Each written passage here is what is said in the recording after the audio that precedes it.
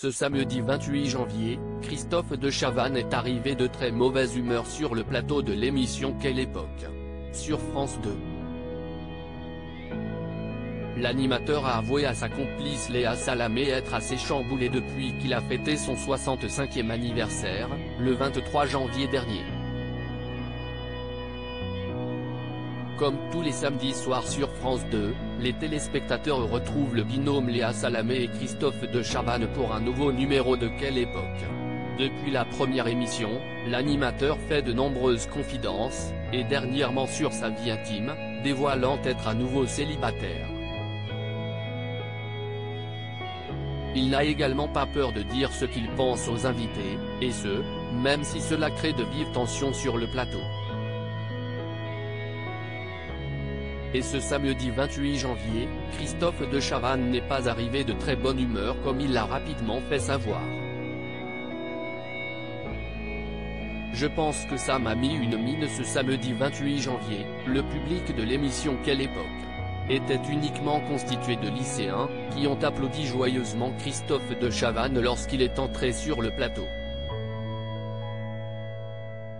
C'est marrant parce qu'il y a tous ces gamins qui m'applaudissent très gentiment, mais il n'y en a pas un qui me connaît, grosso modo, il n'était pas né, les gars, a-t-il tout de suite lancé Aléa Salamé. Ça va Christophe? Lui a-t-elle alors demandé après cette entrée en matière étonnante?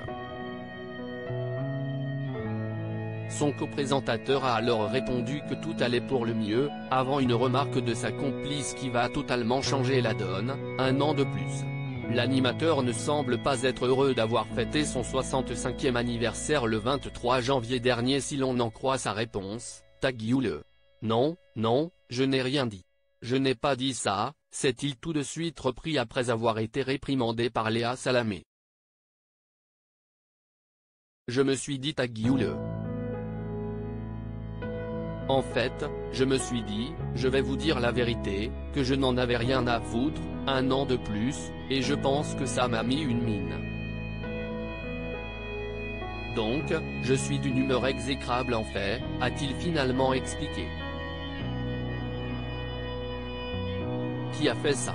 Christophe de Chavannes ne le savait pas, mais Léa Salamé lui a prévu une petite surprise sur le plateau.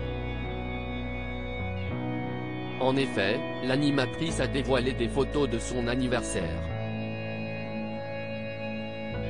Mais c'est de l'abus, a-t-il balancé, et ce, avant de découvrir une photo de lui sur l'écran géant dans une posture des plus embarrassantes? Léa Salamé a réussi à provoquer un fou rire dans le public. Bravo. Ça c'est dégueulasse. Qui a fait ça? A-t-il tout de suite demandé?